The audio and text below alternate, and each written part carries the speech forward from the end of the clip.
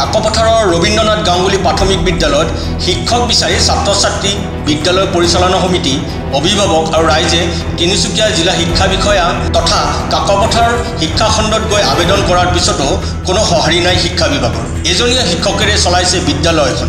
এতিয়া শিক্ষকৰ অভাৱ এজন মাত্ৰ শিক্ষক আছে প্ৰধান শিক্ষক তেখেতে ইয়াত পাঠদান কৰি আছে আৰু এগৰাকী তেখেতে ছোৱালী এগৰাকীক থৈ লৈছে আৰু কেনে কি হিচাপত পঢ়াইছে নাজানো যি হওক আমাৰ শিশুসকলক পঢ়াইছে ভাল পাইছোঁ। শিক্ষক লাগে আকৌ ল'ৰা ছোৱালী পঢ়া শুনা নষ্ট হৈছে। সৰু সৰু বাচ্ছাৰ লগত এনেকৈ হেতালিও খেলিব নালাগে। ছাৰ বাইদেউ ইয়াত বহুত প্ৰয়োজন হৈছে। আমি অফিচতো গৈছোঁ কিন্তু আমাৰ কথা অলপমানো মান্তি নাই হোৱা। অকৰাহে বনাইছে? আমাক। টিচাৰ দিলে দিয়ক। নহ'লে তলা বন্ধ কৰক। এই আমি বিচাৰিছোঁ আকৌ। এই বিদ্যালয়খনৰ প্ৰধান শিক্ষকগৰাকীয়ে দুহেজাৰ ঊনৈছ বৰ্ষত অৱসৰ গ্ৰহণ কৰাৰ পাছতো এজন শিক্ষকেৰে ছাত্ৰ ছাত্ৰীসকলক পাঠদান দি আহিছে।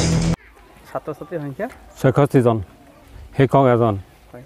আপুনি কি ক'ব বাৰু? এই আপুনি প্ৰধান শিক্ষকৰ দায়িত্বত আছে। আমি বহুবাৰ খণ্ড প্ৰাথমিক বিদ্যালয়ত খণ্ড প্ৰাথমিক শিক্ষা বিষয়া কাৰ্যালয়ত আমি আবেদন জনাইছোঁ শিক্ষকৰ প্ৰয়োজনীয়তা সন্দৰ্ভত। তেখেতলোকে আশ্বাস প্ৰদান কৰিছে যদিও আজিলৈকে কোনো ধৰণৰ উত্তৰ অহা নাই। সেয়েহে আমি আজি আমাৰ ৰাইজে মোক বাৰে বাৰে কৈ আছে যে আমাৰ শিক্ষক ছাৰ বাইদেউ আৰু নাহে নেকি নাহে নেকি। মই বোলো এই কথাটো মই এতিয়া ক'ব নোৱাৰিম। তো আপোনালোকেই চৰকাৰ ঘৰলৈ যাওক বিভাগক জনাওক যে আপোনালোকৰ কথাহে হয় যদি।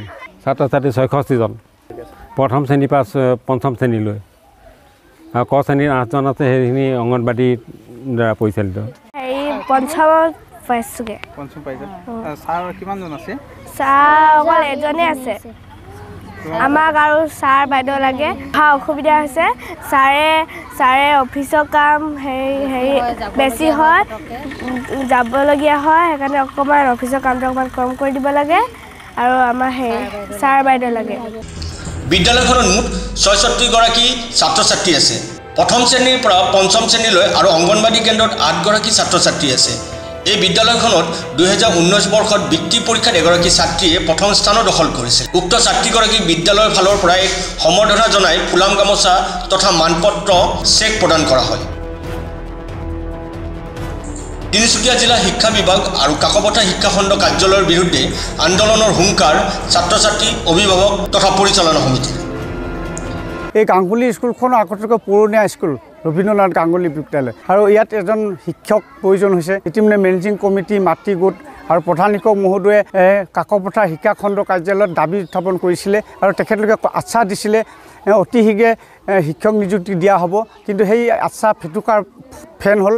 আৰু ইয়াৰ পাছতে গৈছিল তেখেতলোকে জিলা পৰিষদলৈ জিলা শিক্ষা বিষয়ালয় কাৰ্যালয়লৈ। তেওঁলোকেও আশ্বাস দিছিলে আজিলৈকে আশ্বাস পূৰণ নহ'ল। ৰাইজৰ সেইকাৰণে আমি অভিভাৱক হিচাপে আমিও চিন্তিত হৈছোঁ আৰু লজ্জাতিত হৈছোঁ যে গাংগুলী স্কুলত পঢ়া ছাত্ৰ ছাত্ৰীসকলৰ কোনো মূল্য নাই নেকি বা অভিভাৱকসকলৰ মূল্য নাই নেকি আমি প্ৰশ্ন কৰিবলৈ বিচাৰিছোঁ শিক্ষাখণ্ডৰ বিষয়া বিষয়াসকলক। আৰু আৰু এটা মই অনুৰোধ জনাইছোঁ গতিকে এইখন চৰকাৰখন হৈছে বিজেপি চৰকাৰ। বিজেপি চৰকাৰ বিধায়ক আছে ইয়াত বলিন চেতিয়া ডাঙৰীয়া শিক্ষামন্ত্ৰী আছে ৰণোজ পেগু ডাঙৰীয়া মুখ্যমন্ত্ৰী ডাঙৰীয়া বিশেষকৈ হিমন্ত বিশ্ব শৰ্মা ডাঙৰীয়াই তেওঁলোকৰ মন্ত্ৰীসকলৰ যি জহনাম গায় বিভাগীয় মন্ত্ৰীসকলৰ। গতিকে এই বিভাগীয় মন্ত্ৰীসকলক তেখেতলোকে সংবিধানিক কিবা লেকাম নাই নেকি যে তেওঁলোকৰ যে চোৱা চিতা কৰিবলৈ যে দায়িত্ব দিয়ে নিদিয়ে শিক্ষা বিষয়টোক। গতিকে যদি আছে মাননীয় মুখ্যমন্ত্ৰী ডাঙৰীয়া হিমন্ত বিশ্ব শৰ্মা ডাঙৰীয়া আপোনাক আমি শ্ৰদ্ধাৰে অনুৰোধ জনাই অনুৰোধ জনাব বিচাৰিছোঁ। ৰণোজ পেগু ডাঙৰীয়াক এই ক্ষেত্ৰত শিক্ষা খণ্ডটোৰ বিষয়ে বা জিলা পৰিষদক এই হওক বা কাকপথাৰ জিলা শিক্ষা কেন্দ্ৰ কাৰ্যালয়ত অতি শীঘ্ৰে ইয়াত ৰবীন্দ্ৰনাথ গাংগুলী প্ৰাথমিক বিদ্যালয়ত অতিলে শিক্ষক নিযুক্তি দিয়াৰ ব্যৱস্থা কৰক। গতিকে আন্দোলনৰ পথ যাতে বাছি ল'বলৈ বাধ্যতা নকৰে সেইখিনি আমি আপোনালোকক এই চেনেলৰ যোগেদি অৱগত কৰিছোঁ। আমাৰ এই বিদ্যালয়খন আজি আঢ়ৈ বছৰ ধৰি এজনীয়া শিক্ষকে মানে পাঠদান কৰি আছে।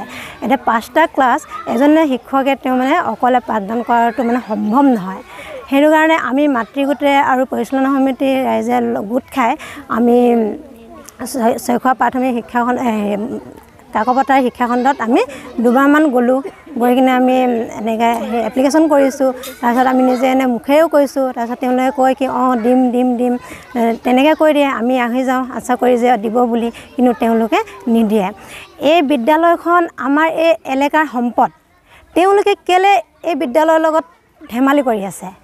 আমাৰ এই এলেকাৰ ল'ৰা ছোৱালী কি পঢ়ি ভাল উন্নতি কৰিবলৈ কি সেই ইচ্ছা নাই নেকি সিহঁতৰ?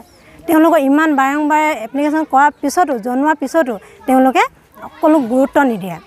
সেইটো কাৰণে আজি আমি তেওঁলোকক জনাই দিব বিচাৰিছোঁ আমাৰ এসপ্তাহ আমি এসপ্তাহ সময় দিছোঁ এসপ্তাহৰ ভিতৰত আমাক টিচাৰ ইয়াত লাগে। যদি তেওঁলোকে নিদিয়ে তেতিয়াহ'লে আমি আকৌ তাত ব্লকত গৈ ব্লকৰ সন্মুখত আমি প্ৰতিবাদ কৰিবলৈ বাধ্য হ'ম। তিনিচুকীয়াৰ পৰা Rontu Borshakiya report any India news.